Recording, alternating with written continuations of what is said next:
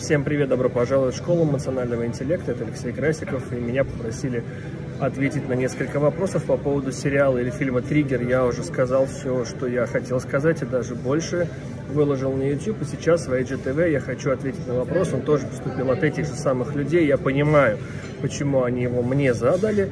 Это вопрос о том, что в январе-феврале мы видели э, в Инстаграм, в котором мы с вами все находимся, цикл э, постов э, от селебрити, от звезд шоу-бизнеса о панических атаках. И меня попросили прокомментировать вообще, во-первых, причину панических атак у, и у Бородиной то же самое, и у нескольких топовых, скажем так, других э, знаменитых людей. И я вообще что я об этом думаю. Я дружу с большим количеством блогеров. Все мы друг друга так или иначе знаем, да, так уж сложилось. Э, я вам скажу следующее, что действительно в январе после поста Алены да, э, началась вот эта вот вся ваханалия с паническими атаками. 80% постов, которые были опубликованы артистами э, и людей из шоу-бизнеса, были связаны исключительно с хайповой темой, потому что она действительно активно комментируется, она действительно будоражит большое количество людей, она действительно интересна и смотрительна, смотрибельна, читабельна и так далее.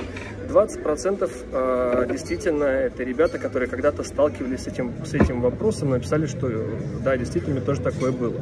Значит, прочитав более 50 публикаций от э, так или иначе известных блогеров, потому что ребята оставляли в комментариях ссылку на меня, я думаю, что вы все это видели у Бородиной, там был завал на меня ссылками, я не буду делиться э, много информации в силу своей работы, но скажу вам так – что в 80% случаев не идет речь о панических атаках в тех постах, которые вы читали.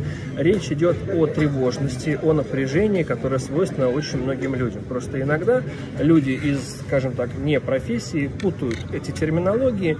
А, они жаловались на общее напряжение, астению, тревожность и на какие-то вот такие астеноневротические состояния. Подружака сказала, что, кажись, это панические атаки, потому что она где-то про это прочитала.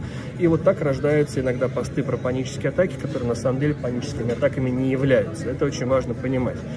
Значит, итак, первая часть это то, что большинство постов про панические атаки у артистов это Инстаграм э, хайп. Вторая часть постов – это действительно э, тревожность, это действительно напряжение, но это не про панические атаки. И лишь некоторое количество постов описывает в прошлом наличие тех или иных проблем. Следующее, мне очень не понравилось, что в нашем сообществе, в сообществе психологов, консультантов, в YouTube-сообществе есть люди, которые взяли на себя э, почему-то право и ответственность рассуждать на тему, что мы знаем, почему у них панические атаки. Мне очень жаль, что такие люди присутствуют вообще и не стесняются вот этого собственного лицемерия и начинают говорить о лицемерии других людей, о лицемерии артистов и, э, скажем так, людей из медийного пространства. Во-первых, первое, мы не знаем, почему они написали этот пост. Второе, мы понимаем, что в 50% случаев это не про панические атаки. Третье, мы понятия не имеем, какой жизнью живут эти люди. Я вам могу сказать, что я знаю человека из медийного пространства, у которого панические атаки. Следуя логике вот этих вот идиотов, то они все должны быть двуликие, они должны обманывать аудиторию, они должны жить не своей жизнью, они должны быть не такими, как они хотят, как они кажутся в Инстаграме. Это такой детский сад.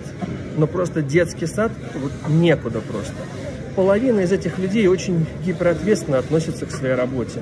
Половина очень переживает за результаты. Половина очень хотят успеть сделать несколько проектов, потому что э, важно совмещать все это половина людей из, из шоу-бизнеса, из медийности, они испытывают тревожное напряжение, как и все мы, потому что они хотят сделать чуть больше, чем могут, и силы их заканчиваются, потому что быть постоянным прицелом видеокамер, микрофонов, фоторепортеров, и быть при этом все время в хорошей форме, я думаю, что не каждый на это способен. И, конечно, многие истощаются, переутомляются именно от образа жизни и от ритма жизни, а не потому, что они кого-то обманывают. Поэтому вот этот детский сад, который я увидел лично опять, да, в очередной раз, еще раз подчеркивает о непрофессионализме людей, которые занимаются в YouTube и вообще в моей профессии темой панических атак и тревожных расстройств. Потому что кроме как одной какой-то вот извилины, вокруг которой все крутится, нету больше ничего, к сожалению моему. Итак, подытожим. Мы не знаем, почему многие артисты написали такие